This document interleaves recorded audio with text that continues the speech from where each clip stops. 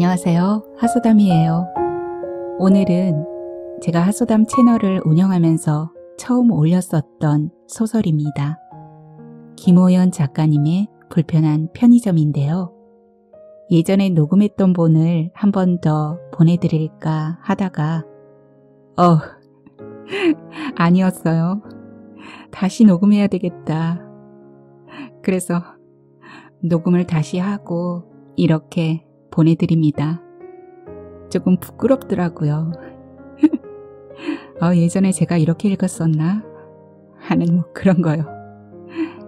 어쩌면 또 몇 개월이 지난 뒤에 또 이 소설을 제가 한 번 더 들어본다면 그때 또 부끄러움이 밀려올 수도 있겠죠. 오늘의 소설 불편한 편의점 정말 따뜻한 소설이에요. 이 겨울을 따뜻하게 보내실 수 있을 겁니다. 그러면 소설 속으로 들어가 보겠습니다. 구독과 좋아요는 하소담에게 큰 사랑으로 돌아옵니다. 끝까지 함께 해주세요.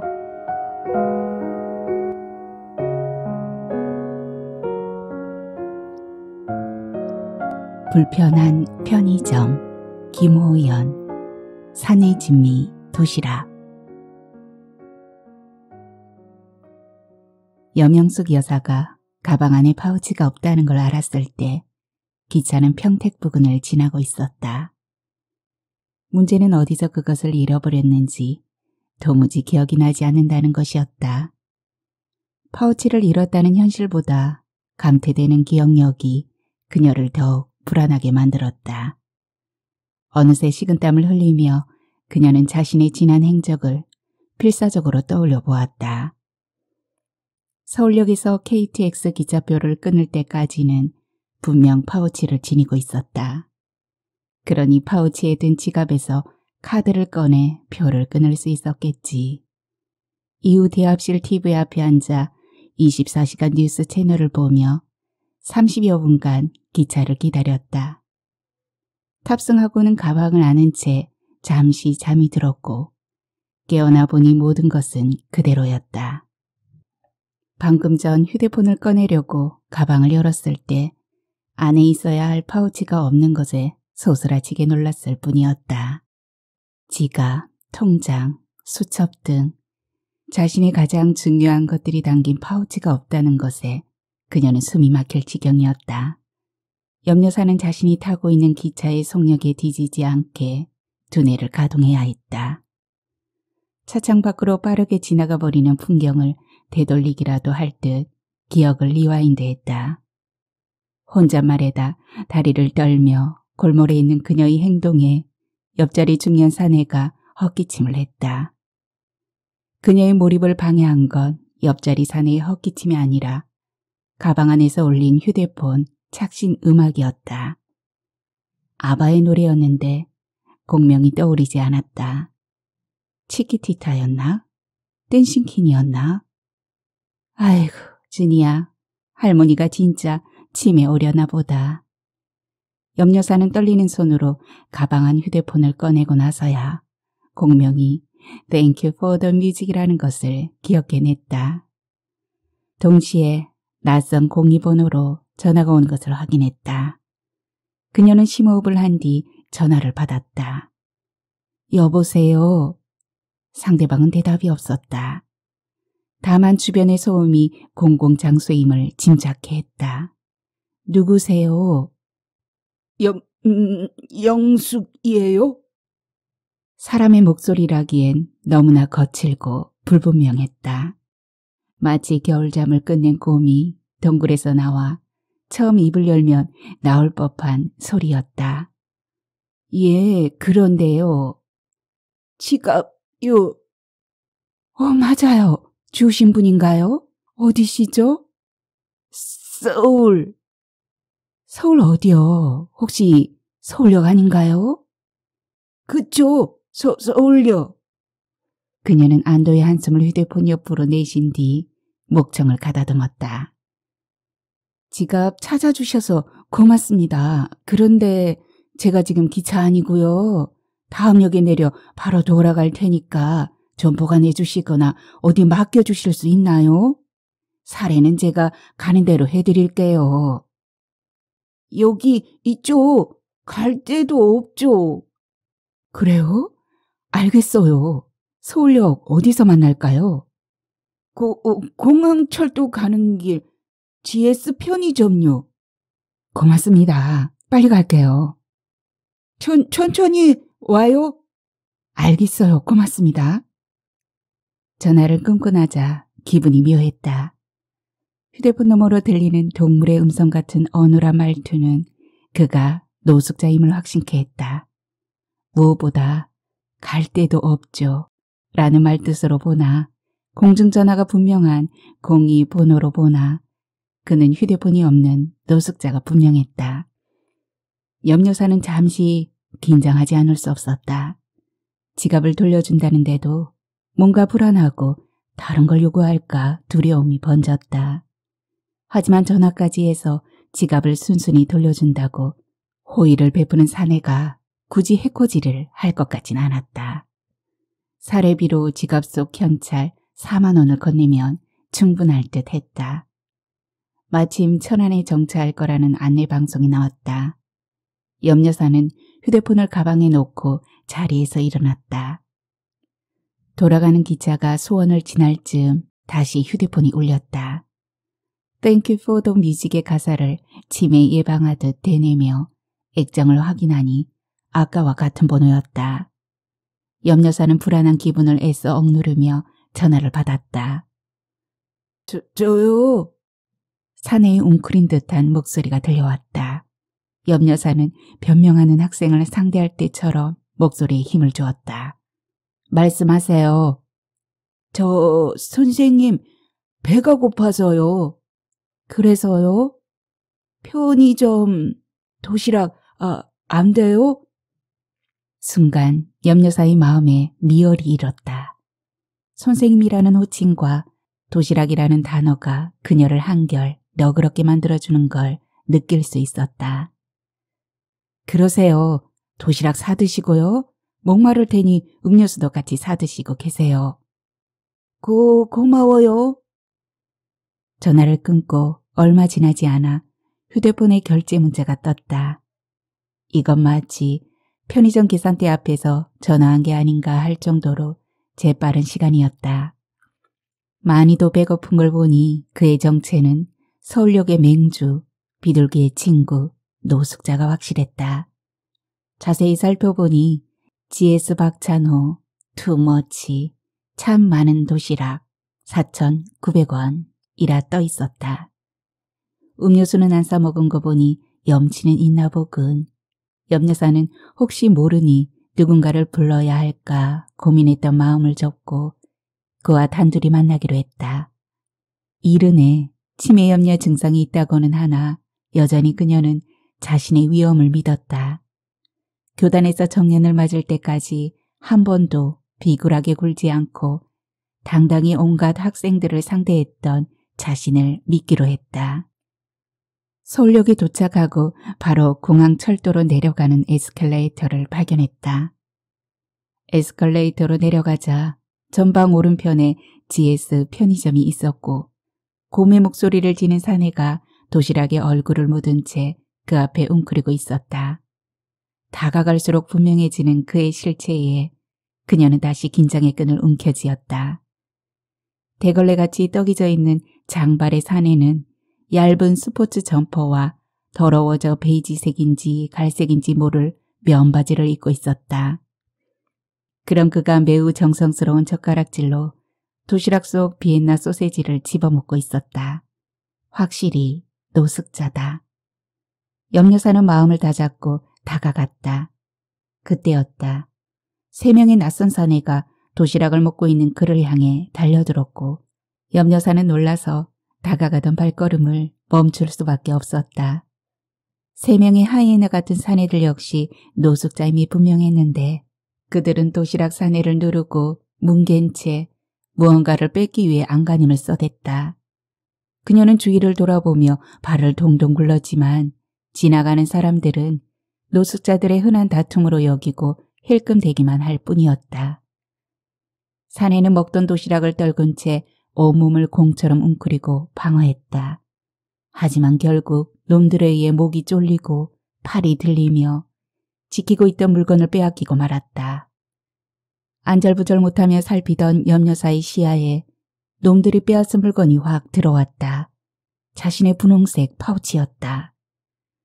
도시락 사내를 떼어내듯 발로 몇 번 밟은 뒤 노숙자 셋이 자리를 뜨기 시작했다. 염려사는 손발이 떨려 어찌할 바를 모른 채 주저앉았다. 그때 사내가 반격하듯 일어나 파우치를 진 놈을 향해 온몸을 던졌다. 으아! 괴성과 함께 사내가 놈의 다리를 붙잡고 넘어뜨렸다. 놈을 짓누르며 다시 파우치를 빼앗은 사내를 곧 다른 녀석들이 덮쳤다. 순간 염려사의 눈에 불이 들어왔다. 그녀는 벌떡 일어나 그들을 향해 튀어가며 목에 핏대를 세웠다. 야 이놈들아 그거 놓지 못해? 그녀의 고함과 돌진에 녀석들이 멈칫했다. 달려간 그녀는 가방을 들어 맨 앞 녀석의 머리를 내리찍었다. 으, 놈이 고통스러워하자 다른 녀석들이 일어나 뒷걸음질 치기 시작했다. 도둑이야, 내 지갑 훔쳐간다. 이놈들이다. 염려사의 앙칼진 외침에 사람들이 멈춰서 관심을 주기 시작하자 녀석들이 하나둘 몸을 돌려 달아나기 시작했다. 오직 도시락 사내만이 품 안에 파우치를 끌어안은 채 웅크리고 있었다. 그녀는 사내에게 다가갔다. 괜찮아요? 사내가 고개를 들어 염려사를 올려다 보았다. 맞아서 부은 눈두덩이, 코피와 콧물이 섞여 나오는 코, 수염으로 가려진 입이 마치 사냥을 나갔다 다쳐 돌아온 원시인처럼 보였다. 사내는 그제야 자신을 공격하던 놈들이 사라진 것을 깨달은 듯 서서히 몸을 일으켜 앉았다. 염려사 역시 손수건을 꺼내 그런 사내 앞에 웅크리고 앉았다. 순간 노숙자 특유의 키키하고 역한 냄새가 코에 훅 들어왔다.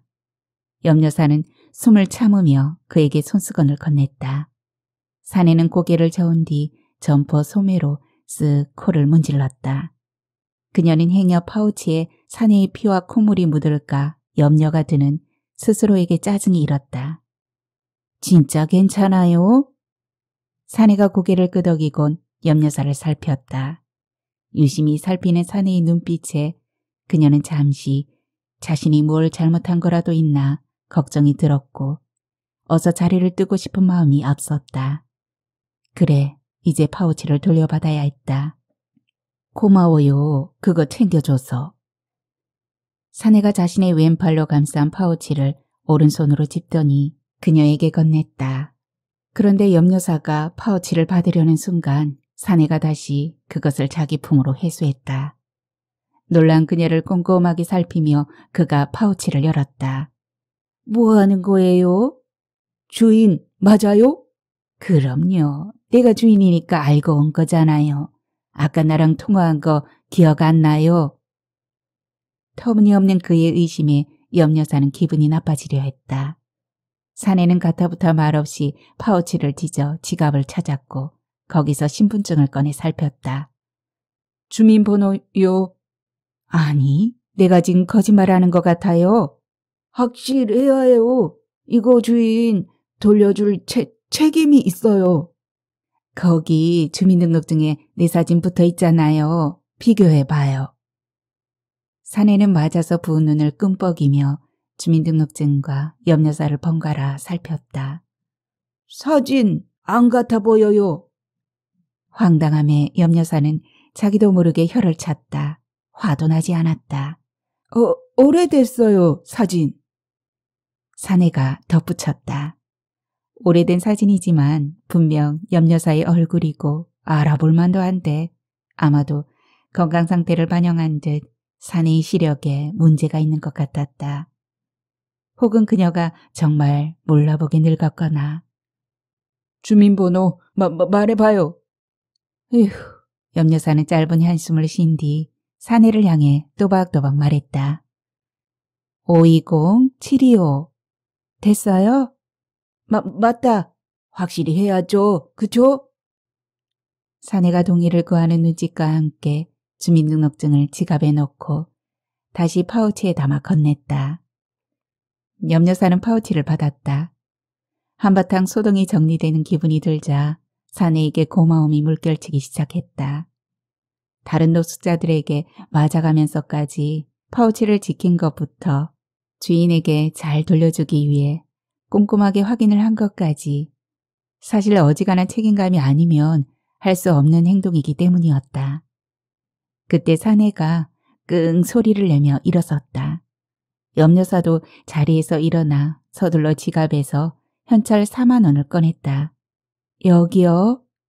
건넨 돈을 보고 사내가 망설이는 게 느껴졌다. 받아요. 사내는 현찰로 손을 뻗는 대신 점포로 손을 넣어 정체를 알 수 없는 휴지 뭉치를 꺼냈다. 그걸로 코피가 흐르는 코를 훔쳤다. 그러고는 돌아서 걷기 시작했다. 사례비를 진 손이 민망해진 그녀는 한동안 사내를 바라보았다. 그는 웅크리고 도시락을 먹던 편의점 앞으로 허우적허우적 걸어가더니 몸을 숙였다. 그녀는 사내를 뒤따라갔다.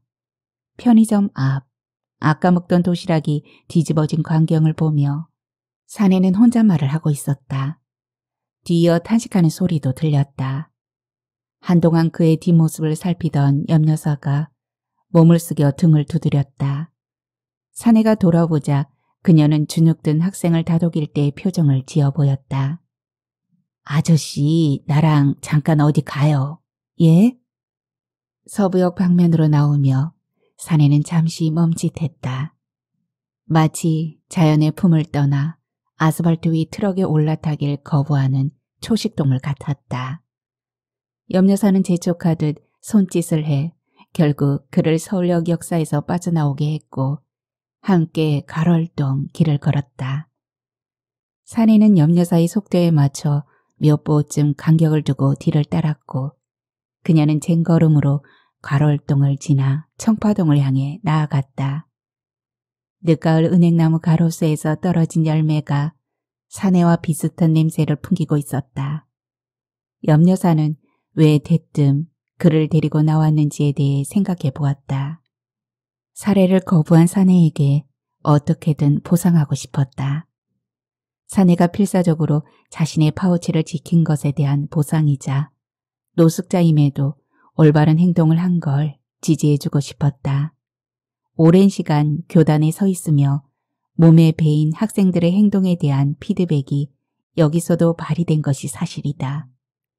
무엇보다 염려사는 모태신앙으로 생애 전부를 크리스천으로 살아왔고 먼저 선한 사마리아인의 모습을 보여준 노숙자 사내에게 자신 역시 선한 사마리아인이 되고 싶었다. 15분쯤 걸었을까? 서부역 뒤편의 칙칙한 거리가 끝나고 세련된 큰 교회 빌딩이 눈에 들어왔다. 여대 앞인지라 청바지에 점퍼를 입은 여학생들이 깔깔대며 지나갔고 방송을 통해 유명해진 분식집 앞에는 사람들이 줄지어 서 있었다. 염 여사가 뒤를 돌아보자 사내는 두리번대며 거리 풍경을 살피기에 여념이 없었다. 그녀와 사내를 피해 가는 사람들도 있었다. 그녀는 자신과 사내의 조합이 사람들에게 어떻게 보일지 궁금하기도 하고 걱정이 되기도 했다. 이곳 청파동이 바로 자신의 동네이기 때문이었다. 그리고 자신의 매장이 자리한 곳이기도 했다. 숙명여대 방향으로 접어든 염려사는 사내를 꼬리처럼 매단 채 골목을 두어 번 지나 작은 상거리에 다다랐다. 상거리로 갈라지는 모퉁이에 자리한 편의점. 그곳이 염여사가 소유한 작은 사업체였고 사내에게 다시 도시락을 제공할 수 있는 공간이었다. 편의점 문을 열고 염여사가 사내에게 들어오라고 손짓했다. 사내는 쭈뼛거리다가 그녀의 뒤를 따랐다. 어서 오세요. 아, 오셨어요? 아르바이트생 시연이 휴대폰을 내려놓으며 염여사에게 미소로 인사했다. 염여사도 미소로 답하는데 순간 시연의 표정이 뜨악해지는 게 보였다. 괜찮아, 손님이야. 손님이라는 말에 사내를 살피는 시연의 표정이 더 일그러졌다. 염려사는 그녀가 어른이 되려면 한참은 멀었다 생각하며 사내의 팔을 끌고 도시락 진열대로 향했다. 사내는 눈치가 빠른 건지 아니면 아무 생각이 없는 건지 묵묵히 염려사를 따랐다. 마음껏 골라요. 먹고 싶은 거. 여기 내가 운영하는 편의점이니까 눈치 보지 말고 마음껏. 그럼, 음, 에? 입맛을 다시던 사내가 갑자기 입을 벌린 채 멍해졌다. 왜요? 먹고 싶은 게 없어요? 박찬호, 도시락 없어요. 여긴 GS 편의점이 아니에요. 박찬호 도시락은 GS에서만 팔거든요. 여기도 맛있는 거 많아요. 한번 골라봐요. 음, 박찬호가 도시락도 잘해요. 사내의 라이벌 편의점 도시락 타령에 기가 막힌 염려사는 앞에 있는 제일 큰 도시락을 집어 들이밀었다. 이거 먹어요. 사내짐이 도시락. 이거 반찬도 많고 좋아. 도시락을 받아든 사내는 신중하게 반찬의 가지수를 세어보았다. 12찬이다. 그거면 노숙자에겐 수라상이다 이 녀석아. 염여사가 도시락을 탐구하듯 살피는 사내를 보며 속임말을 했다. 확인이 끝났는지 사내는 고개를 들고 그녀에게 꾸벅 인사했다. 그러고는 마치 자기 지정석인 양 가게를 나가 야외 테이블로 향했다. 녹색 플라스틱 야외 테이블은 금세 사내의 작은 식탁이 되었다. 사내는 마치 기중품을 다루듯 도시락 뚜껑을 연 뒤 정성을 들여 젓가락을 갈라 두 개로 만든 후 밥을 한 술 떠 입에 넣었다. 염려사는 사내의 행동 하나하나를 살피다 돌아서 컵 된장국을 하나 집어와 계산대에 올렸다. 시연이 바로 알아채고 바코드를 찍었고 염려사는 된장국에 온수를 부은 뒤 수저를 챙겨 밖으로 나갔다. 같이 먹어요. 국물이 있어야 좀 낫지. 염려사가 내려놓은 된장국과 그녀의 얼굴을 번갈아 살피던 사내는 수저를 건넬 새도 없이 들어 한 모금 마셨다.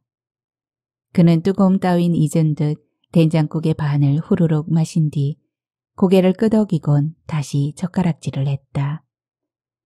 편의점으로 들어가 종이컵에 물을 따라온 염려사는 그것을 사내의 옆에 내려놓은 뒤 맞은편에 앉았다. 그녀는 사내가 도시락 먹는 걸 바라보았다. 겨울잠을 자고 나와 배고픈 건지, 겨울잠을 자기 위해 영양을 채워야 하는 건지, 아무튼 꿀통 파먹는 곰꼴이다.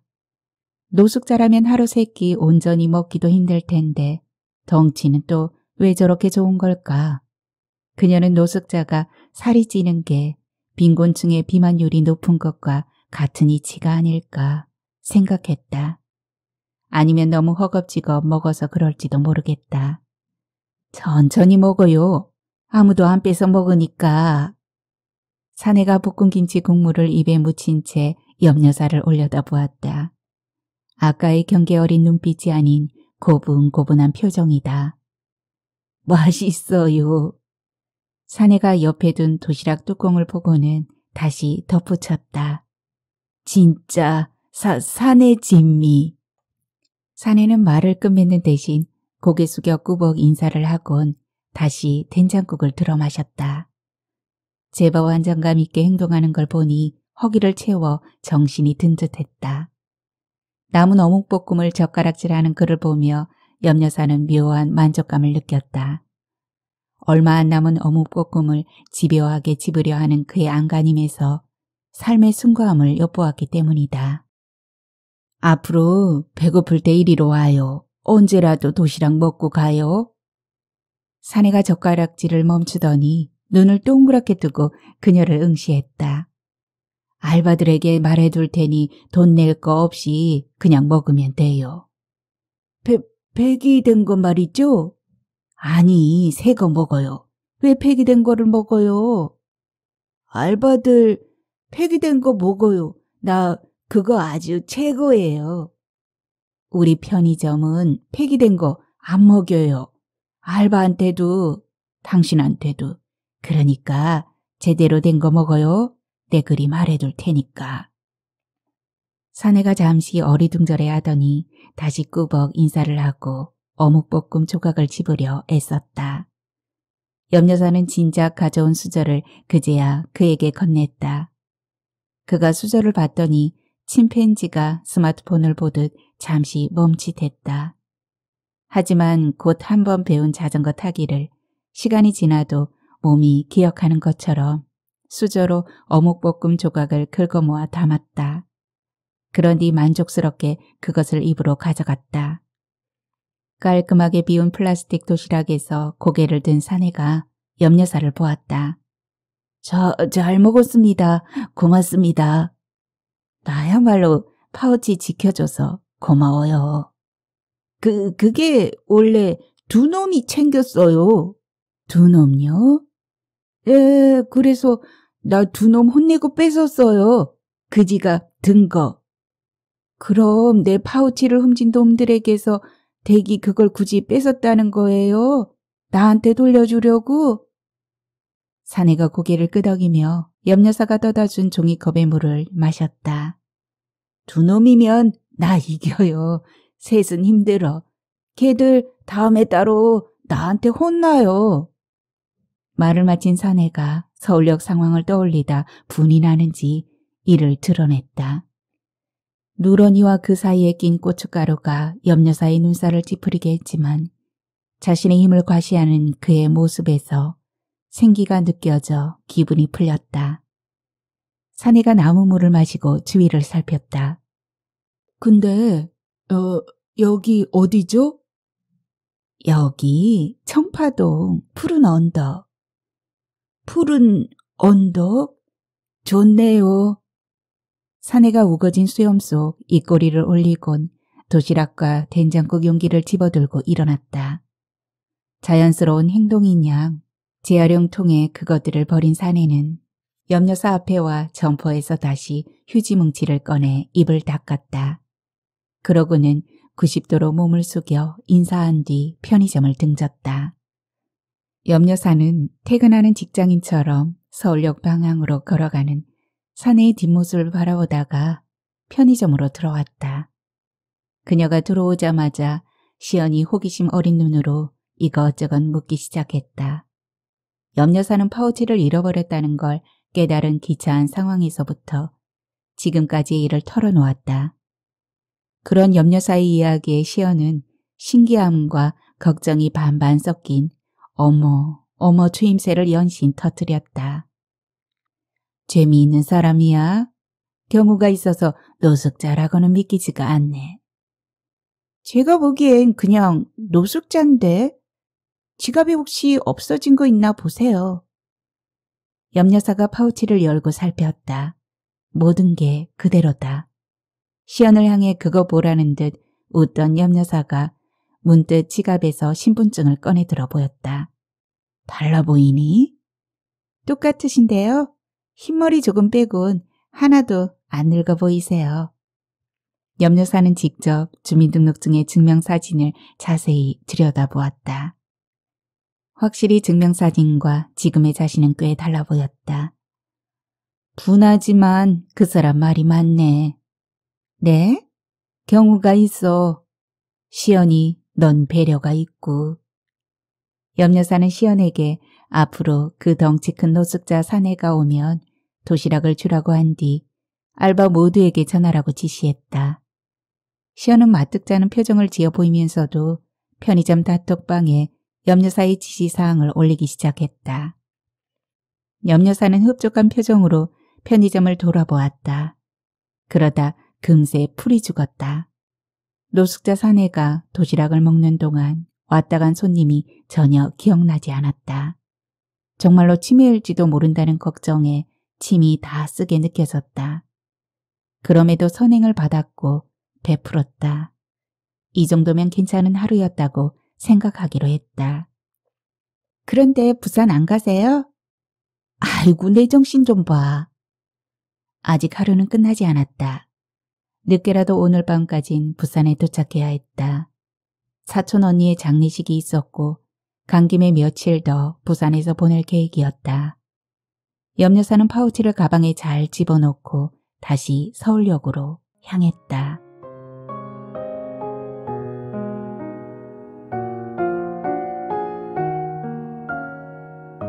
부산에서 닷새간 일을 보고 돌아온 염여사가 편의점에 들렀다. 그녀가 들어왔을 때 시연은 커플 손님의 음료 계산을 하며 눈으로 인사를 했다. 그리고 커플 손님이 나가자마자 계산대를 나와 그녀를 향해 다가왔다.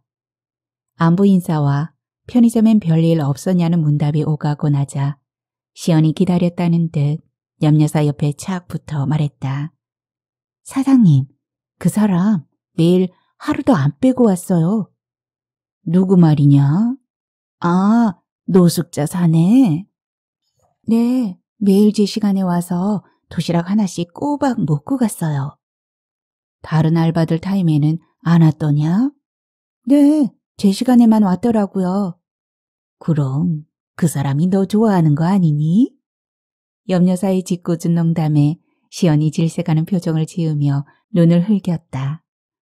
염려사는 웃으며 농담이라는 말로 시연의 투정을 받아주었다. 근데요, 사장님, 생각해보니까 제 시간에만 오는 게 저녁 8시 폐기 시간 맞춰오는 거더라고요. 뭐? 새거 주라고 했잖니? 말했죠. 근데 새거 드시라 해도 곧 죽어도 폐기 도시락 먹겠다고 우기더라고요. 그래도 내가 새거 주겠다고 말했는데 성의 없게 대했잖아. 사장님, 그게 쉽지 않은 게요. 그 사람 웅얼웅얼거리며 계속 카운터 앞에서 오게 되면요. 일단 냄새가 나요. 편의점에 큰 똥이 하나 놓여있는 꼴이라고요. 심지어 그 사람이 카운터에 있는 거 보고 들어오던 손님이 나간 적도 있다고요. 어쩌겠어요. 빨리 치우려면 그 사람 원하는 대로 빨리 줘서 내보내는 방법밖에 없더라고요. 게다가 내보내고 나선 환기도 시켜야 하고요. 으, 알겠다. 제가 보기엔 작정한 거라니까요. 어떻게 귀신같이 알았는지 도시락 폐기 시간 딱 맞춰오더라니까요. 경우가 있어, 역시.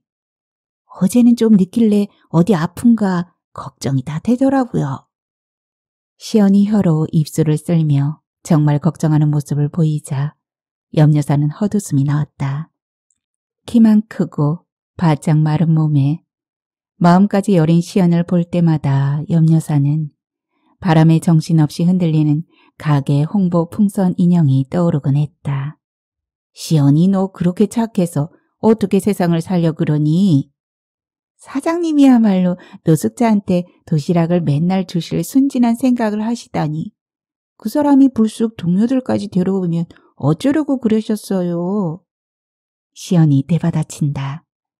아무렴 풍선 인형도 탄력이 있다. 그럴 사람은 아니더라. 에이, 어떻게 그걸 다 아세요? 내가 사람 보는 눈은 있어. 그러니 너도 고용한 거 아니냐.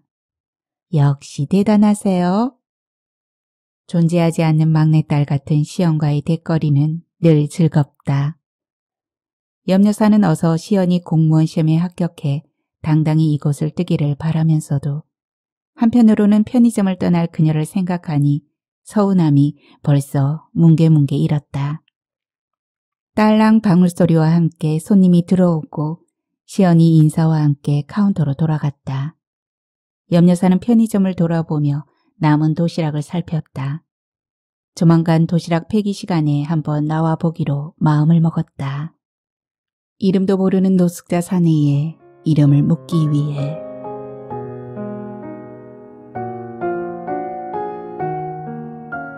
그날 밤 집에와 TV를 보며 까무룩 잠이 들었던 염려사는 전화벨 소리에 깼다. 액정을 보니 아들이란 단어가 떠있고 시간은 자정을 막 지나고 있었다.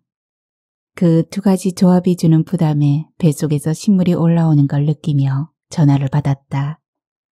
역시 치기 가득한 목소리가 휴대폰 너머에서 들려왔다. 아들은 그녀가 부산에 다녀온 줄도 몰랐고 그녀의 생일이 내일인 것도 몰랐다. 그럼에도 염려사를 사랑한다고 사랑함에도 효도를 잘못해 죄송하다고 말했다. 반복된 레퍼토리의 결말은 역시 편의점의 상태에 대한 존재론적인 질문이었다. 염려사는 네가 신경 쓸 것 없다고 말했다. 아들의 대답은 늘 그렇듯 장사가 안 되는 편의점을 정리해 자신의 사업에 필요한 자금을 대면 어머니가 더 여유 있고 평온하게 살 수 있다는 뜬구름 잡는 소리였다. 참다 못한 염려사는 세게 던지고 말았다. 민씨가 가족한테 사기치는 거 아니다. 엄마, 엄마는 왜 나를 못 믿어요? 아들이 정말 그럴 사람이요? 역사교사로 정년을 보낸 내가 한마디 하자면 국가고 사람이고 다 지난 일을 가지고 평가받는 거란다. 네가 그동안 한 짓을 떠올려봐라. 너는 너 자신을 믿을 수 있니? 으, 엄마, 나 외로워. 누나도 엄마도 왜 날 더 외롭게 하는 거야? 가족이 대체 왜? 술주정하는 거면 전화 끊어라. 엄마. 전화를 끊고 염려사는 주방으로 향했다. 심장이 기름튀는 불판에 올려진 것처럼 아팠다. 통증이 지글거리는 소리를 내며 가슴 전체를 압박해왔다. 그녀는 냉장고를 열고 캔맥주를 따서 벌컥벌컥 들이켰다.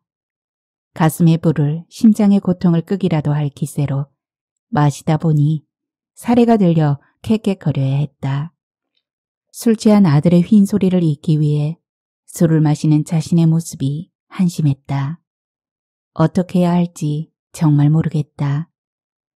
깔끔한 판단력과 결단력으로 지금까지 인생을 무난하게 살아왔다고 생각했다.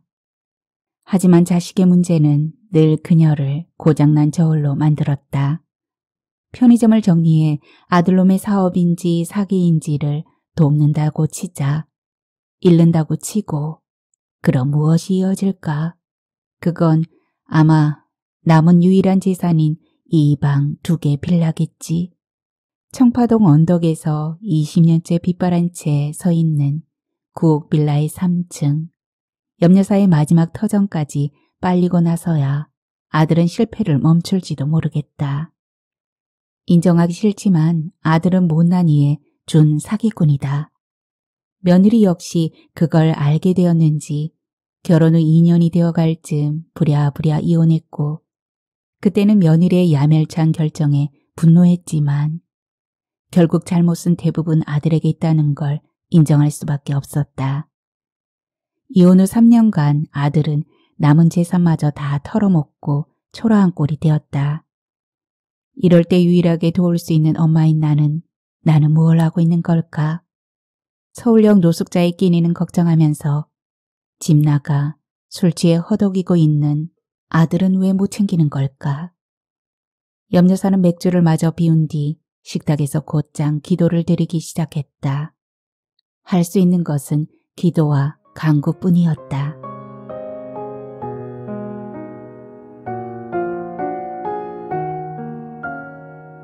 생일을 맞아 염려사는 딸과 사위, 그리고 무한한 행복인 소녀 준이와 함께했다.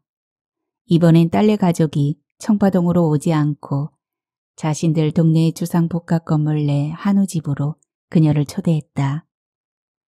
딸의 동부 이촌동 하이에코 빌리지와 염려사의 청파동 빌라는 같은 용산구에 자리하지만 하늘과 땅만큼의 간극이 있다. 용산구가 바야흐로 서울에서 강남 상구 다음으로 부동산이 비싼 동네가 되었지만 염려사의 청파동은 여전히 언덕의 조밀조밀 빌라와 대학 하숙촌이 자리한 서민 동네다. 딸과 사이는 늘 은행이 집주인이라며 말을 돌리지만 야무지게 돈을 모아 준이가 중학교에 갈 때쯤이면 강남의 알짜배기 땅으로 진군하는 걸 목표로 하고 있다. 염려사는 자신의 보수적인 경제관념과는 다른 공격적이고 야심찬 재테크와 살림을 보이는 게 딸의 능력인지 사회의 재주인지 가끔 궁금했으나 그 모든 게 두 사람에게 시너지로 작용한다는 걸 이해하게 되었다. 결혼한 뒤로 딸은 점점 딸 같지 않아 보이고 사위는 더욱 사돈댁 사람 같아 보였다. 다행이라면 아들처럼 다투고 이혼하는 것보단 죽이 맞아 잘 사는 딸네 가족이 그나마 덜 걱정된다는 것이다. 하지만 염려사는 대화의 방향이나 결, 모든 것이 달라진 딸과의 관계가 용산에서 강남으로 넘어갈 때쯤이면 그 물리적 거리만큼이나 더 멀어질 거라는 걸 어렴풋이 느끼는 중이었다. 그런 와중에 한우라니 비싼 집으로 소문난 이곳을 엄마의 생일이라고 장모의 생일이라고 이렇게 모시다니 솔직히 감동보다는 부담이 앞서는 게 사실이다. 그동안 딸네 가족은 늘 숙대 입구에 한 돼지갈비집에서 염려사의 생일을 챙겨왔기 때문이다. 불편한 마음으로 앉아있던 염려사는 손녀 준이를 보며 웃음을 머금었다. 물론 준이는 스마트폰으로 유튜브를 보느라 할머니의 눈길은 신경도 쓰지 않지만 그래도 좋을 따름이다. 사유와 딸은 자기들대로 적립식이니 보장식이니 금융상품 얘기를 하는데 알아들을 길이 없고 어서 한우나 나와 음식에만 집중하고 싶었다. 오늘은 내 생일, 즐길 자격이 있는 건 나 자신뿐이라고 그녀는 생각했다. 음식이 나왔다. 염려사는 사위가 구워주는 고기를 자신의 입으로 가져가는데 주력했다. 딸은 준이를 챙겼고 사위는 부지런히 고기를 구웠다.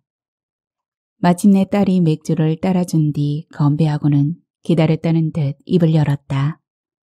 엄마, 준이 이번에 태권도 학원 다니기로 했거든. 여자애가 태권도까지 또 뭘. 아니, 배우신 분이 왜 이럴까? 엄마, 태권도 배우는데 남녀가 어디 있어. 준이 저번에 남자애한테 맞고 왔단 말이야. 태권도 배워서 함부로 구는 놈들한테 맞서겠다고 준이가 먼저 얘기한 거라고. 딸이 말이 맞다. 염려사는 구태의연했던 자신의 생각이 민망했고 어쩔 수 없이 표정이 굳어졌다. 사위가 눈치를 보는 가운데 딸이 맥주잔을 비웠다. 염려사는 서둘러 준이를 돌아보며 표정을 풀었다. 준이야, 태권도 배우고 싶어? 응. 준이는 유튜브에서 눈도 안 떼고 답했다. 그래서 말인데 엄마 동네에 좋은 태권도장이 있다네? 사범이 아주 괜찮다고 하더라고. 국가대표 상비군 경력에 젊고 마인드도 좋고 여기 동천만 카페에서 아주 소문났더라고. 동천만 카페? 동부 이천동 엄마들 모임이야. 인터넷에 있어. 그럼 그 사범은 멍청한 거 아니니? 돈 되는 동부 이천동으로 도장을 옮겨야지. 청파동 골목에 눌러 있으면 어떡해? 그 사범도 그러려고 하지. 근데 여기가 좀 비싸잖아. 아무튼 이 동네 들어오길 기다릴 순 없고 준이를 거기 보내야 해서 엄마 도움이 좀 필요할 것 같아. 부드럽기 그지없는 한우가 갑자기 이빨에 걸린 듯 잘 씹히지 않았다. 염려사는 당연히 준이와 함께하는 시간이 싫지 않다. 하지만 그 시간을 자신이 선택할 수 없다는 점이 마음에 걸렸다. 딸은 태권도장과 바이올린 학원 사이에 비는 준이의 두 시간을 염려사가 챙겨주길 바랐다. 덧붙여 학원 셔틀버스가 애매하기에 바이올린 학원은 염려사가 직접 버스를 태워 데려다 줘야 했다. 은퇴한 노인이자 딱히 일과가 없어 보이는 할머니가 손녀의 두 시간 남짓을 챙겨주는 게 어려운 일은 아니다. 하지만 염려사에게도 일과는 있다. 편의점도 수시로 점검해야 하고 교회 봉사도 해야 하며 치매 예방을 위한 영어 단어 필사도 매일 해야 한다. 하지만 그런 염려사의 일과는 딸이나 손녀의 일과 겹치면 후순위로 밀리는 게 당연한 것이 되고 만다. 염려사는 딸의 요청을 수락할 수밖에 없었다. 수고비 언급은 없었지만 사위와 딸이 알아서 챙겨줄 거라는 믿음을 지닌 채 두말 없이 수락했다. 버스를 타고 흘러 돌아오는 길에 염려사는 편의점 직원들을 떠올렸다. 지지리도 말 안 듣는 아들놈과 오지게도 잘난 딸년보다 요즘은 함께 일하는 직원들이 가족 같고 편하다. 이렇게 말하면 딸은 또 직원들을 가족같이 대하면 악덕 업주니 옳지 않다느니 따지겠지만 사실이 그런 걸 어쩌랴. 직원들에게 날 가족같이 생각해 달라는 것도 아니고 내가 직원들을 가족같이 여겨 무리한 업무를 부탁하는 것도 아니다. 염려사는 지금 가까이 의지할 수 있는 사람들이 편의점 직원들이기에 그런 생각을 하는 거라고 스스로를 다독였다. 오전에 편의점을 책임지는 오 여사는 동네에서 20년을 알아온 친구이자 같은 교회 성도이기도 하다. 실제로 그녀는 염려사를 친언니처럼 따르고 지난 시간 함께 고락을 나누지 않았던가. 오후에 시연은 딸 같기도 하고 조카 같기도 한 게 늘 챙겨주고 싶게 만든다. 일한 지 1년이 다 되어가지만 가끔 계산을 틀리는 것 빼고는 말썽 하나 피운 적이 없다. 무엇보다 뻔질나게 사람이 들고 나는 편의점 알바 자리를 1년간 채워준 것만 해도 업어줄 지경이다. 그런 면에서 오픈 즈음부터 편의점의 밤을 책임지고 있는 성필 씨 역시 그녀에게는 1등 공신이다. 50대 중반의 성필 씨는 2년 전 편의점을 오픈한 뒤 수시로 그만두는 야간 알바 때문에 골치가 아프던 차에 제 발로 온 복덩이였다. 편의점 부근 반 지하에 사는 두 아이를 둔 가장인 그는 종종 담배를 사가던 동네 아저씨였다. 그런 그가 야간 알바 구인 전단을 붙이자마자 자신도 일할 수 있느냐고 물어왔다. 그는 마침 실직 상태였고 재취업이 어려운 상황이라 야간 알바라도 해서 생활비를 벌어야 한다고 힘주어 말했다. 염려사는 가장의 간절함이 느껴지는 그에게 기존 시급에 500원을 더 얹어주었다. 마침 새로 들어선 정부가 가파르게 최저시급을 올렸기에 성필 씨는 200만 원이 넘는 월급을 받아갈 수 있었다. 그로부터 1년 반, 낮과 밤이 바뀌어 가장 힘들다는 편의점 야간 알바 자리를 그가 지켜주었다. 가족 같다는 느낌은 이런 것이다. 사장의 입장에서라면 그들이 계속 편의점에서 일해주기를 바라는 게 맞다. 그럼에도 취준생인 시연과 제 취업이 목표인 성필 씨가 뜻을 이룰 기회를 얻는다면 염려사는 기쁜 마음으로 그들을 보내주겠다 마음 먹고 있었다. 심지어 시연에게는 괜찮은 일자리를 소개해 준 적도 있었다. 비록 그녀가 하루 만에 못 버티고 돌아와서 망정이지. 편의점으로 돌아와. 아직은 직장인이 될 준비가 덜 됐나 봐요. 라면서 다시 일하고 싶다던 시연의 모습이 생생하다. 주말 알바는 숙대 학생들이 채워주었고 주중 구멍 나는 시간은 교회 청년의 학생들을 투입했다. 짧게 하루 이틀 용돈을 버는 걸 선호하는 알바 인력풀이 생기자 염려사가 땜빵할 일이 줄어들었고 사람 쓰는 일이 가장 큰 일이라는 자영업자의 고민에서 한숨 돌릴 수 있게 되었다. 가족 같은 고정 직원들과 아직 때가 덜 묻은 대학생 알바들이 염려사를 사장님이라 부르며 편의점을 지켜주는 것이 그녀는 늘 신기하고 고마웠다. 고로 문제는 딱 하나였다. 장사가 잘 안 된다는 것. 염려사는 교사연금으로 자기 몸 하나는 건사하고 살 수 있었다. 편의점을 차린 건 남편의 유산을 어떻게 처리할까 고민하던 중 편의점을 세게 운영하는 남동생의 조언을 받아들여서였다.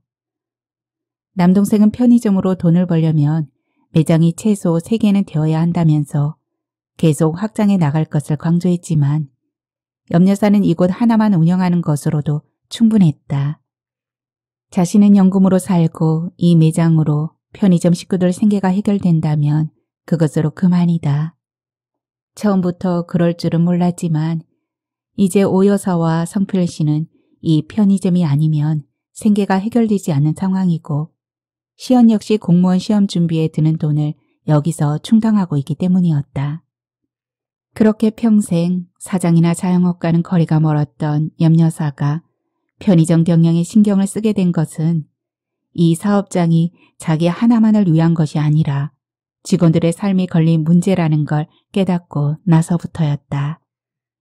처음에는 제법 장사가 잘 되었지만 6개월 뒤에 100m도 안 떨어진 곳에 각각 다른 브랜드의 편의점 두 개가 더 생겼고 그 두 곳이 미친 듯이 경쟁을 하기 시작했다. 양쪽에서 서로 질세라 공격적인 이벤트를 걸어대니 상대적으로 조용한 염려사의 편의점은 한물 간 듯 매출이 줄었고 지금에 이르렀다. 염려사는 편의점으로 돈을 왕창 벌고 싶다는 생각은 없었다. 다만 매출이 줄어 망한다면 직원들이 갈 곳이 없어지는 것이 걱정될 뿐이다. 하지만 이토록 경쟁이 심한 줄은 몰랐고 언제까지 버틸 수 있을지도 알 수 없었다. 다음 날 염려사는 도시락 폐기 시간에 맞춰 편의점으로 나왔다가 노숙자 사내가 야외 테이블을 청소하고 있는 모습을 목격했다. 가을 저녁에 쌀쌀함이 느껴지는 가운데 사내는 수그린 채 담배꽁초와 종이컵, 맥주캔을 주섬주섬 줍고 있었다. 굼뜬 움직임으로 집어든 쓰레기들을 분리수거함으로 가져가 신중히 살핀 뒤 분리하는 모습은 꽤 근사해 보였다. 그때 시연이 도시락을 들고 나와 야외 테이블에 내려놓으며 사내에게 기척을 했다. 돌아본 사내는 대면 대면 목례를 하고 시연도 목례를 하고 돌아서다가 지켜보는 염려사와 딱 마주쳤다. 어머, 오셨어요? 도시락 챙겨드리는 거니?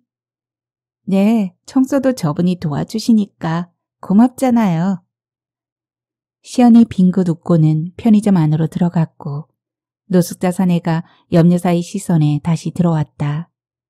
노숙자 사내도 그녀를 보고 꾸벅 인사한 뒤 도시락 뚜껑을 열었다. 염 여사는 말없이 그의 앞에 가 마주 앉았다.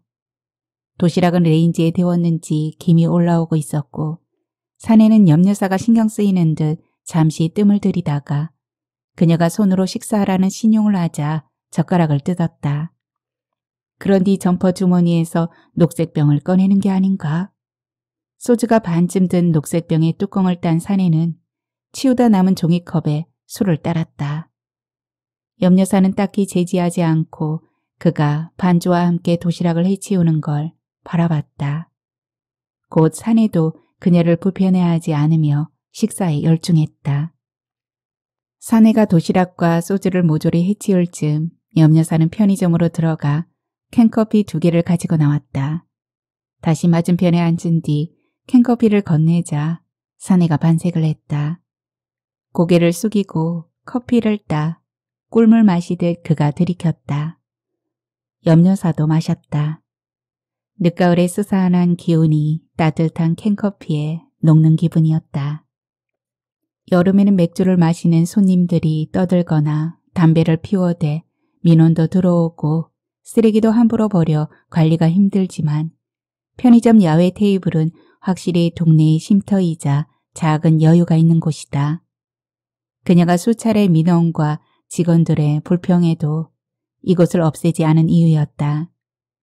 날이 춥죠? 유령이 옆에서 휘파람 소리라도 낸 듯 염려사는 놀라서 사내를 쳐다보았다. 식사 내내 한마디도 없기에 그가 대화를 싫어하는 걸로 여긴 그녀는 이름을 묻는 것도 포기한 참이었다. 그런데 먼저 안부를 물어주니 다시 흥미가 돋았다. 그러네요. 날이 추워질 텐데. 그쪽은 계속 서울역에 있을 거예요. 추워지니까 더 거기 있어야죠.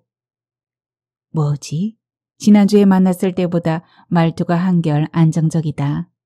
편의점에 와 도시락을 먹으며 사회화가 이루어진 건지도 모르겠다. 염려사는 이참에 사내에 대해 궁금한 것을 최대한 많이 묻기로 마음먹었다.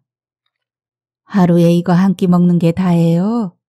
종교 행사가 점심 먹는데 찬송가 시켜 싫어요. 하긴 좀 그렇죠. 그런데 집이 어디예요? 돌아갈 생각은 안 해봤어요? 몰라요. 그럼 그쪽 이름이라도 알 수 있을까요? 몰라요. 자기 이름도 모른다고요? 나이는요? 전에 뭐하고 살았어요? 뭐, 몰라요. 으휴. 말은 텄는데 답은 모르세다. 이러면 묵빌 건가 뭐가 다른가. 눈치가 빠른 염려사조차도 사내가 진짜로 자기 이름을 모르는 건지 모르는 척하는 건지 가늠이 되지 않았다. 하지만 그녀는 포기하지 않기로 했다. 교감을 하려면 어떻게든 서로의 호칭을 정리해야 했다. 그럼 내가 그쪽을 어떻게 불렀으면 좋겠어요? 사내가 대답 대신 서울역 쪽으로 시선을 돌렸다. 돌아가고 싶은 건가? 자신이 아는 유일한 공간으로. 그때 그가 고개를 돌려 염여사를 정면으로 응시했다. 도, 오, 꼬. 도꼬? 도꼬. 다들 그렇게 불러요. 성이 도꼬예요. 이름이 도꼬예요. 그냥 도꼬. 염여사는 한숨을 쉰 뒤 고개를 끄덕였다. 알겠어요. 도꼬씨, 매일 잊지 말고 오도록 해요. 엊그제는 늦게 왔다고 해서 걱정했어요. 그, 그러지 마요. 신경 쓰지 마요. 사람이 늘 제 시간에 오다 늦으면 신경이 쓰이지 어떻게 안 쓰여요. 그러니까 매일 늦지 말고 와요. 와서 도시락도 먹고 지금처럼 운동 삼아 여기 청소도 도와주고 그러면 좋잖아요. 호, 혹시 지갑 잃어버리면 얘기해요. 응? 제가 또 찾아드리게. 제가 보답할 게 없으니까. 독꽃이 경우 바른 줄 알았더니 그쪽 도움 받으려고 또 지갑을 잃어버리라고요? 아, 아 아니요. 잃어버리면 안 되고 아무튼 뭐든 도울 거 있으면 말해요. 염려사는 기특한 마음과 허탈한 기분이 동시에 들었다. 고양이 손이라도 빌려야 할 정도로 도움이 절실하진 않다. 아니면 그에게도 우리 편의점이 한심해 보이는 걸까? 그녀는 독고씨를 똑바로 바라보며 대화를 마무리하기로 했다. 독고씨, 먼저 스스로를 도우세요. 그가 명구스러운 표정을 지으며 고개를 숙였다. 뭐 이런 걸로 준익이 될 것까지야. 그리고 도시락을 먹게 해주는 건 독고씨를 조금이라도 돕고 싶어서예요. 그러니 여기서 소주 먹는 걸 가만둘 순 없어요. 도시락은 안주가 아니라 끼니예요. 독고씨가 술 취하는 걸 내가 도울 순 없습니다. 한병 가, 가, 간에 기별도 안 가는데. 어쨌든 난 원칙이 있는 사람이에요. 이 야외 테이블은 내 소유고 여기서 소주는 허락할 수 없으니 그렇게 알아요? 독고씨가 말없이 침을 삼켰다. 뒤이어 소주병으로 시선을 옮기더니 가만히 집어들었다. 염려사는 그가 그걸로 공격이라도 하는 게 아닌가 잠시 긴장했다. 하지만 그는 소주병을 빈 도시락 용기 위에 얹은 뒤 일어나 어슬렁 어슬렁 분리수거 공간으로 이동했다. 염려사는 조용히 안도의 한숨을 쉬었다. 돌아온 독고 씨는 예의 그 점퍼에서 알 수 없는 휴지 뭉치를 꺼내 테이블을 닦은 뒤 그녀에게 꾸벅 인사를 했다. 염려사는 독고시라 불리는 사내의 멀어져가는 뒷모습을 눈으로 배웅했다. 독고, 홀로 고독하다는 뜻일까? 아니면 독고인으로 살아서 독고라 불리게 된 걸까? 이름만큼이나 쓸쓸한 그의 뒷모습을 그녀는 당분간 신경 쓰지 않기로 했다.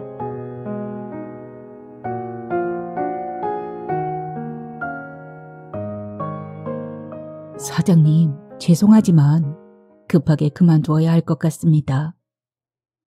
그날 시험과 수다를 떨며 편의점의 저녁 시간을 지키던 염여사는 막 출근한 성필 씨의 말에 당황하지 않을 수 없었다. 그는 얼마 없는 머리숱을 손으로 쓸어대며 아는 분을 통해 중소기업 사장의 운전기사 일을 얻었다고 했다.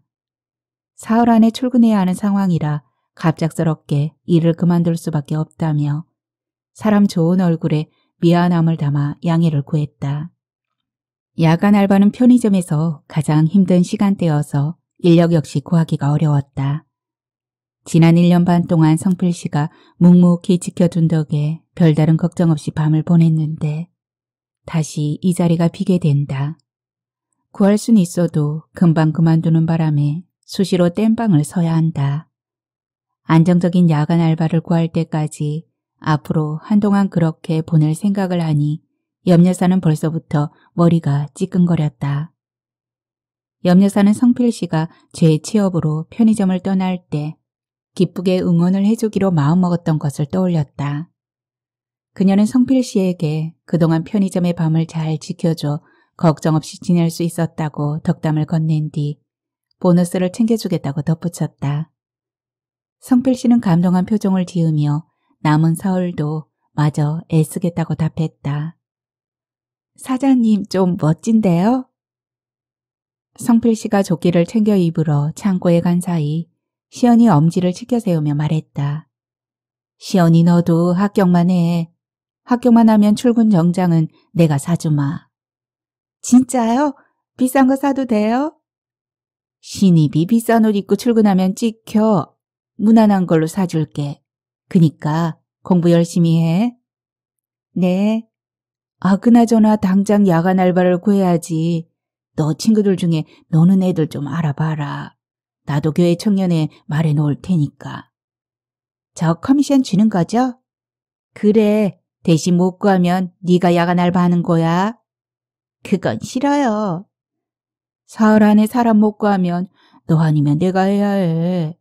오 여사는 아들 때문에 안 되고 우리 밖에 더 있니? 그럼 이 할머니가 야간에 여길 지키며 물건 진열 다 할 수 있겠니? 어떻게 생각하니? 염여사가 일장 연설을 하자 시연이 애매한 표정을 지으며 눈을 굴렸다. 알아볼게요. 노는 애들은 많아요. 짱 좋은 사장님이 있다고 해. 그럼요. 염여사는 쏟아지는 물품 박스를 보며 한숨이 절로 나왔다. 장사도 안 되면서 발주 욕심은 왜 이리 냈는지 그녀는 스스로를 원망하며 출입문 앞에 쌓여가는 박스를 옮기기 시작했다. 배송 매니저는 출입문까지만 배송해준다. 여기서부터 창고까지는 편의점 직원이 직접 옮겨야 한다. 몇 차례 나르는 것만으로도 다리가 떨렸다. 염려사는 마지막 박스를 쌓아놓고 가는 배송 매니저의 뒷모습을 보며 한숨을 내쉬었다.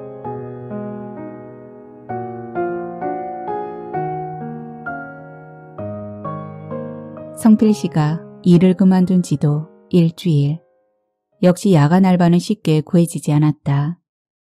처음 사흘은 몇 달 뒤 입대를 앞둔 교회 청년이 자원했지만 고작 며칠 일하고는 부모님이 반대한다는 뻔한 거짓말을 남기고 공문이를 빼고 말았다. 그 녀석, 그래서는 군대에서 어떻게 버틸까 걱정이 되기도 했지만 사실은 편의점의 밤이 더 걱정이었다. 이후 사흘째 염여사가 밤을 새우며 근무 중이다. 시연은 마침 특강이 생겨서 새벽부터 노량진으로 가야 한다며 잔뜩 미안해만 했다. 얄미운 지고 진짜로 열심히 공부하는지 문제라도 출제해 확인하고 싶은 심정이었다. 아닌 게 아니라 역사 선생 출신인 염여사는 공무원 시험에 나오는 역사 문제는 눈 감고도 풀 수 있었고 그 분야에 대해서는 시연에게 도움을 줄 수도 있었다. 하지만 시연은 선생님보다는 사장님으로 염려사를 대하고 싶다며 한사코 거절했다. 어쩌면 시연은 공부보다는 편의점 알바로 용돈을 벌며 시간을 축내고 있는지도 모르겠다. 또 난 걱정을 하고 있다. 당장 야간 알바를 구해야 하는 게 내 문제다. 낮에는 아들에게 전화를 걸었다가 우라만 치밀고 말았다. 아들놈은 자기가 백수인 줄 아냐면서 설령 백수가 맞더라도 나 같은 고급 인력이 편의점 야간 알바나 할 수 없다며 그러게 편의점을 팔지 않고 왜 그 고생을 하냐며 이참에 팔고 자신의 새 사업에 투자하고 시시라는 실로 도움은커녕 우는 사람 뺨 때리는 발언을 쏟아냈다. 염려사는 너는 편의점에서 껌 하나 못 얻어먹을 거라고 선언한 뒤 전화를 끊었다. 그리고 맥주를 한 캔 다 마신 뒤 쓰러져 잠들었다가 알람 소리에 일어나 시연을 교대해 주러 편의점으로 온 것이다. 아들놈 때문에 술이 늘어간다. 교인으로서 이래도 되는 걸까? 하나님은 왜 아들과 골칫거리를 주고 또 술도 주시는 건지 염려사는 도무지 알 수 없었다. 창고로 물품 박스를 다 옮기고 검수까지 마치고 나자 자정이 지났다. 이제는 발주한 물건을 진열해야 했다. 그래서 다시 꼬박 3시간을 더 도토리 나르는 다람쥐처럼 창고와 진열대, 워크인을 오갔다. 끝나고 나니 새벽 4시 그녀는 카운터에 상체를 기댄 채 잠기는 눈에 힘을 주며 하품을 했다. 그나마 손님이 없어서 다행이지 안 그랬으면 큰일 날 뻔했다는 생각이 들었다. 하지만 손님이 없어 다행이라는 생각, 그것은 어떤 식으로든 가게가 망할 징조이지 않은가. 그때 딸랑 소리와 함께 요란한 욕설을 앞세운 일군의 무리가 편의점으로 들어왔다. 20대 초반의 치기 가득한 여자아이 둘과 역시 술 취한 남자의 둘이었다. 노란색과 보라색으로 염색한 두 여자아이는 연신 욕설을 섞으며 자기들끼리 떠들었고 남자애들은 음흉함과 허세가 섞인 말투로 그 아이들의 비위를 맞추고 있었다. 아무리 봐도 쑥대생은 아니고 남영역 쪽 술집에서 한잔하고 넘어온 아이들인 듯 싶었다. 아, 씨, 여기 붕어 싸 많고 없잖아. 아니야, 여기 있잖아. 떡 붕어 싸 많고. 떡 싫다고, 존나 싫다고. 바보야, 그럼 떡 없는 붕어 싸 많고 실컷 찾아. 난 비비빅 먹을 거야. 니네 싸만코가 뭔 뜻인지 아냐? 싸고 양도 많고거든. 뭐래? 아직도 싸만코 찾아? 아 근데 왜 비비빅 없어? 밥 먹고 싶은데. 에이씨. 주저리 주저리 떠들며 욕하는 그들의 모습에 염려사의 미간이 절로 찌푸려졌다. 참아야 한다. 지한 애들한테 뭐라 말해봐야 들어 먹을 것도 아니고. 여기 밥 한 바 있다. 밥 한바 하나 처먹어. 바보야. 밥한 바는 밤이고 나 밥 먹고 싶다고. 밥 먹고 싶은 팥빙수 먹어. 여기 있네. 개 추운데 뭔 팥빙수야. 이런 팥빙시나. 뭐야. 이 시발이 뭐래? 아, 나 침이. 아, 난 이미. 이봐요, 학생들. 도저히 참다 못한 염려사가 소리쳤다. 뒤어 남의 매장에서 함부로 욕하지 말고 빨리 사서 집에 가라는 말을 마구 쏘아붙였다. 결국 욱하고 말았다. 욕하는 아이들에게 알레르기 증세를 보이는 그녀는 그들의 저속한 발언을 더 이상 참을 수 없었다. 하지만 그들은 염려사의 학생도 단정한 청년들도 아니었다. 오히려 술 취한 불량배라고 할 수 있었고 극기야 염려사를 향해 인상을 구긴 채 다가오는 네 명의 마귀가 되어 있었다. 긴장한 염려사는 침을 꿀떡 삼켰다. 앞서 다가온 머리를 노랗게 염색한 여자애가 바닥에 침을 뱉었다. 할매, 할매 구미호야? 목숨 몇 개 있어? 너희들이 먼저 소란 피웠잖니? CCTV에 다 나올 거야. 염려사는 애써 평정심을 유지하며 경고했다. 그때 보라색 여자애가 염려사 앞에 들고 온 붕어 싸만코를 부서질 듯 내려놓았다. 계산이나 해. 확 붕어 눈깔 만들어 버리기 전에. 두 여자애는 깔깔 비웃으며 염려사에게 당장이라도 손찌검을 날릴 태세였고 사내의 둘은 뒤에서 이 광경을 보며 실실거리고 있었다. 순간 염려사도 독이 올랐다. 염려사는 물러나지 않기로 했다. 너희들에게 안 팔아. 나가. 안 그러면 경찰 부를 테니까. 그러자 노란 여자애가 붕어 싸만코 하나를 집어들더니 염려사의 머리를 툭 쳤다. 순식간에 벌어진 일에 염려사는 눈만 동그랗게 뜨고 어찌할 바를 몰랐다. 할매, 할매 아까 뭐랬어? 이봐요 학생들? 우리가 어딜 봐서 학생이야. 쓰, 곤대들은 껄핏하면 젊은 사람 다 학생이래? 나 학교 안 다니거든? 나 할매 같은 선생 쭉박 날려 퇴학당했거든.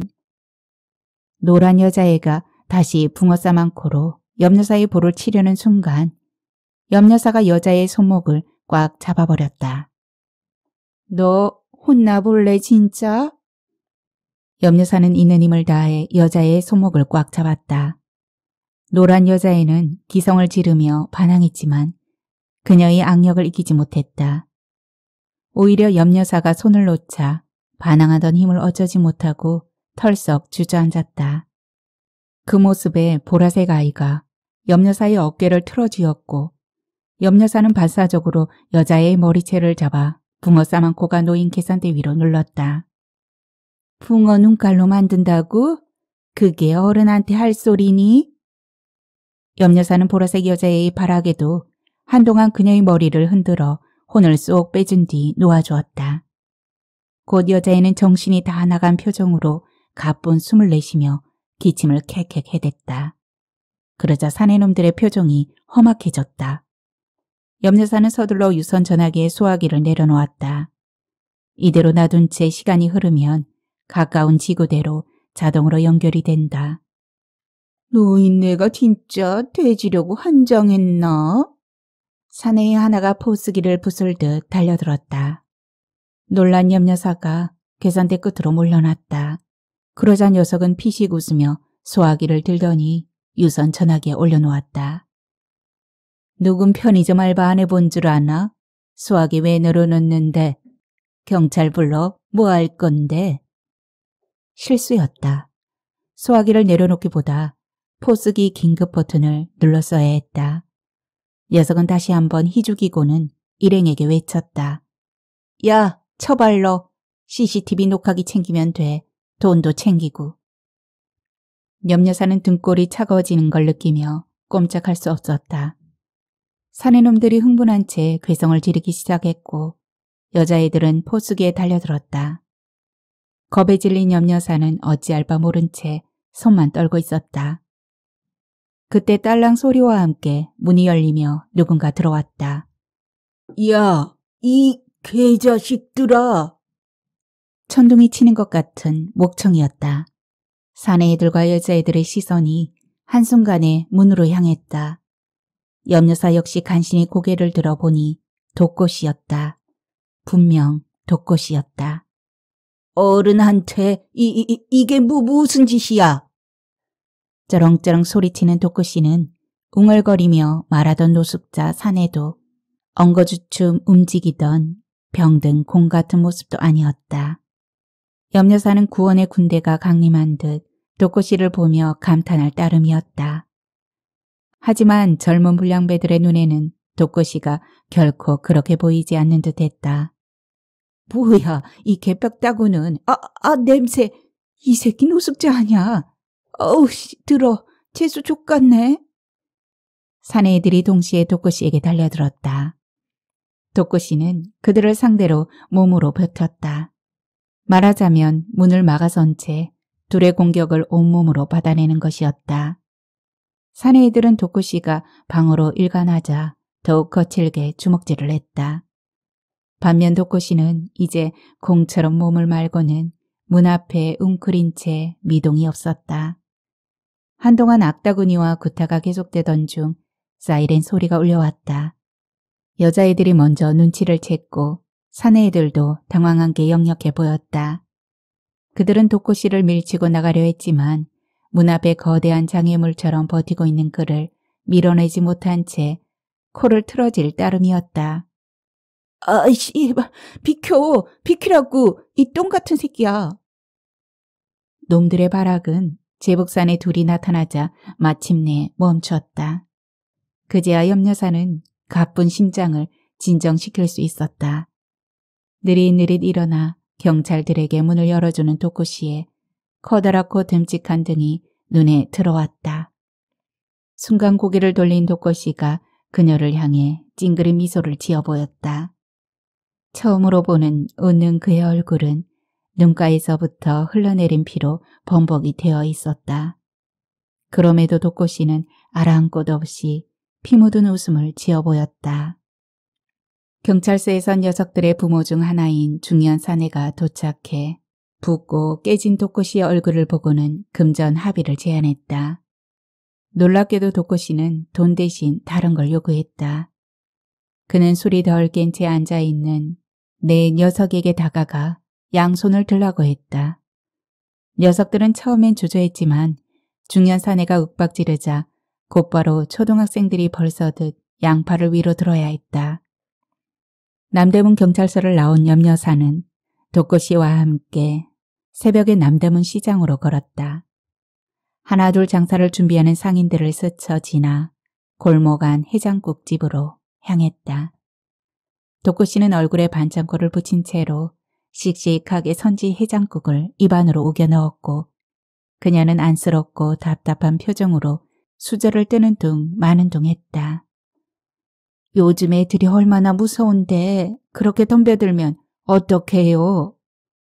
나 둘은 상대할 수 있다고 그랬잖아요. 반창고가 훈장이라도 되는 듯 만지작거리며 도꼬씨가 이를 드러냈다. 염려사는 무어라 더 말하려다가 자기야말로 요새 애들한테 덤벼들었다는 걸 깨달았다. 그녀는 쓴웃음을 짓고는 도꼬씨를 응시했다. 고맙네요. 바, 밥값 한 건가요? 그럼, 근데 어떻게 마침 온 거예요?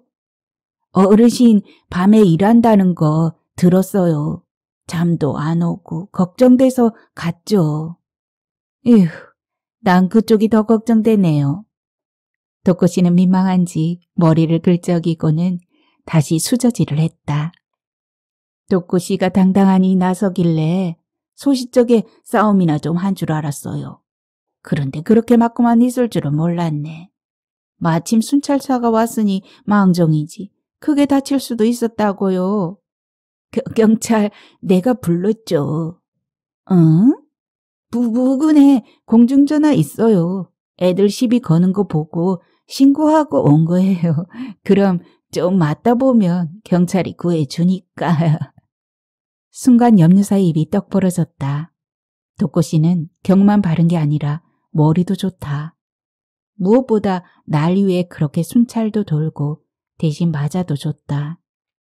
순식간에 감탄과 감동이 염려사의 머릿속에 뭉게뭉게 차올랐다.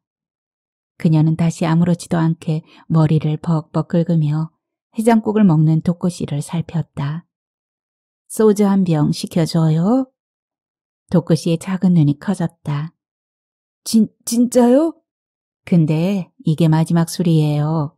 이거 먹고 술 끊는 조건으로 우리 가게 일 좀 봐줘요. 도끝이의 커다란 머리가 갸우뚱거렸다. 제, 제, 제가요? 도끝이 할수 있어요. 곧 날 추워질 텐데 밤에도 따뜻한 편의점에 머물고 돈도 벌고 얼마나 좋아요.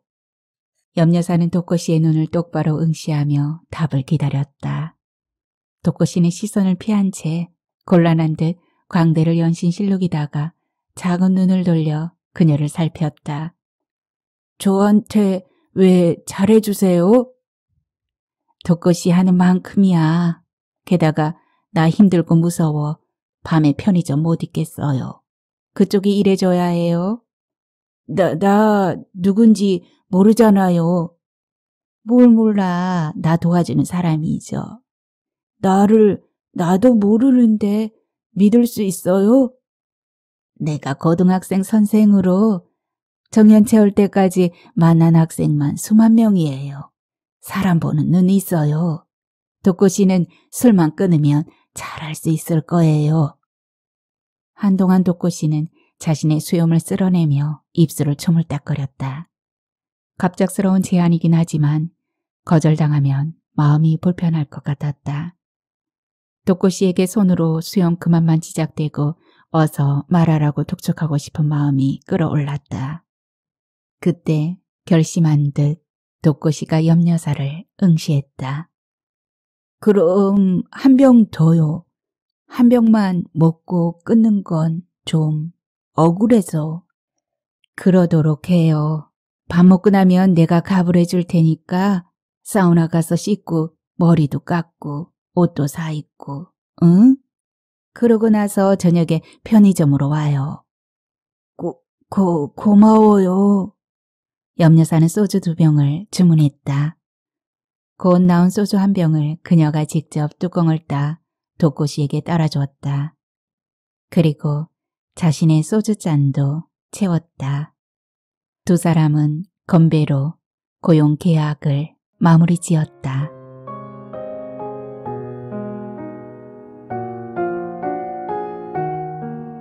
네, 오늘의 소설은 여기까지만 읽어드릴 수가 있습니다. 끝까지 읽어드릴 수 없어서 아쉬움이 남기는 하는데요. 읽을수록 감동이 밀려오는 따뜻한 소설입니다. 꼭 한번 읽어보세요. 아마 나온 지 꽤 돼서 읽어보신 분 많을 거예요. 그래도 한 번 더 읽어보시면 이 겨울을 좀 더 따뜻하게 보낼 수 있을 것 같습니다. 네, 하소담은 또 다음 소설 준비해서 오겠습니다. 요즘 장편 소설 잘 듣고 계신가요? 네, 아마도 12월 말까지 이어질 것 같아요. 장편 소설 목련꽃 그늘 말이에요. 많은 사랑 부탁드립니다. 그러면 다음 시간에 뵙겠습니다. 편안히 계세요. 감사합니다.